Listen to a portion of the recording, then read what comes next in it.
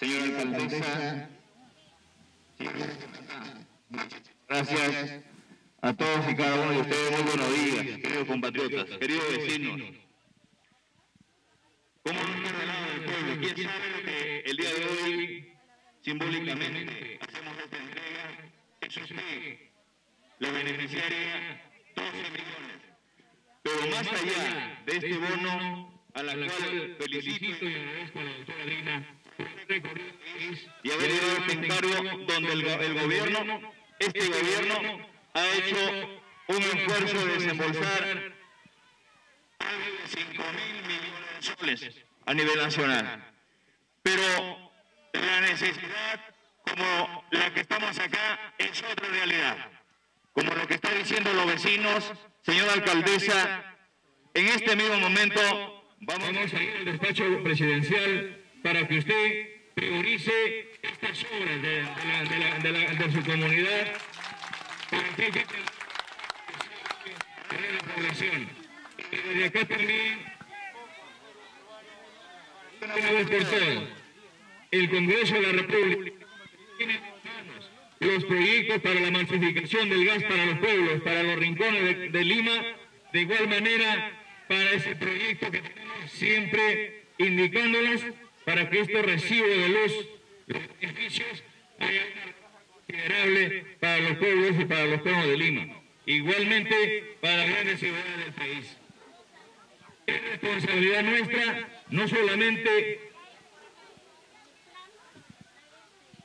es responsabilidad nuestra no solamente llegar con un beneficio económico a la población, sino agendar los los grandes problemas que tiene el país.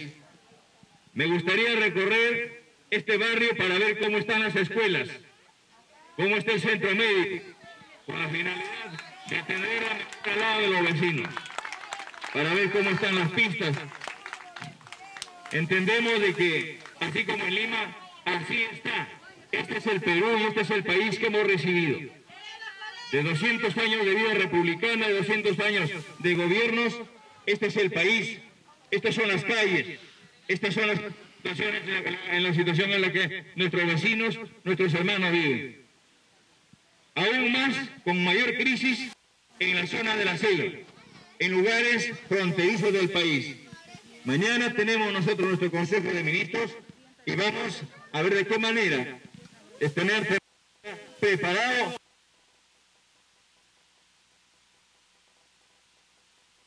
y sus conos para llevar al Congreso de la República. Señora alcaldesa, le reitero, yo le voy a esperar ahora mismo en el despacho presidencial para agendar estos problemas, estos problemas que tiene, que tiene su barrio que tiene su distrito. Quiero hacer hincapié nuevamente a la doctora Dina que ha hecho el recorrido por el país y es necesario felicitarla también, señora ministra, de incorporar a nuestros ancianos. Ese grito de los ancianos que no solamente piden una partida, sino también el reconocimiento. Así también como a nuestros trabajadores.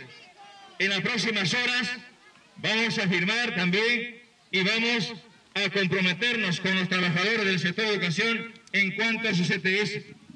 Ese es un grito también de los trabajadores y el resto de trabajadores del sector de educación. También hay una deuda y que hay que impulsarla y desde acá a estos hermanos que se fajaron con la pandemia, a los médicos, a las obstetrices, a los técnicos enfermeros. Ellos también necesitan tener una estabilidad laboral igual que todos los trabajadores a nivel nacional.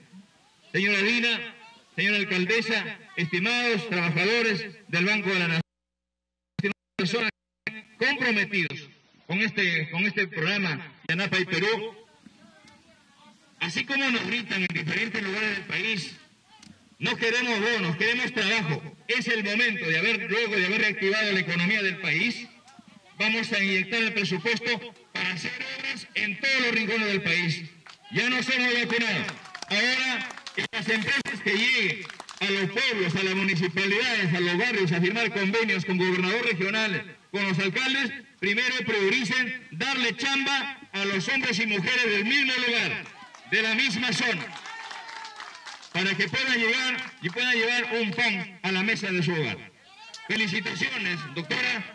A usted hay que cuidar la salud, por favor. Muchas gracias a todos y cada uno de ustedes. Muy gracias.